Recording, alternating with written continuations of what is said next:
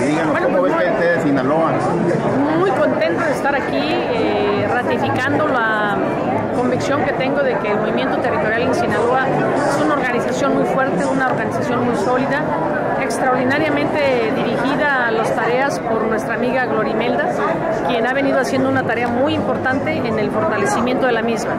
Y segundo, en esta etapa, pues eh, reestructurando eh, todos los comités municipales y seguramente con la incorporación el día de hoy de nuestra compañera Silvia al frente del MT en Mazatlán, entramos a una segunda etapa eh, reconociendo el extraordinario trabajo que hizo Martín al frente del MT. Creo que la experiencia de Martín eh, como punta de base para poder avanzar va a ser muy importante. Vamos a tener una organización muy fuerte para entrar al proceso electoral eh, y aportar muchos votos y por supuesto ganarnos la confianza de la gente con una capacidad de gestión muy fuerte.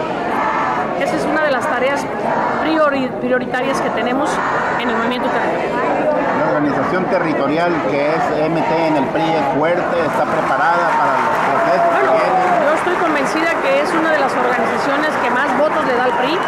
Es eh, la organización que tiene una presencia en la base social del partido y ahí en la base social es en donde está eh, el potencial mayor que tiene el PRI para el 2018. Una disculpa, pero es que ya va a pues empezar nada más el estamos esperando del la presidente nacional del movimiento territorial para Canales. Su nombre y puesto. Lorena Martínez, dirigente nacional del MT.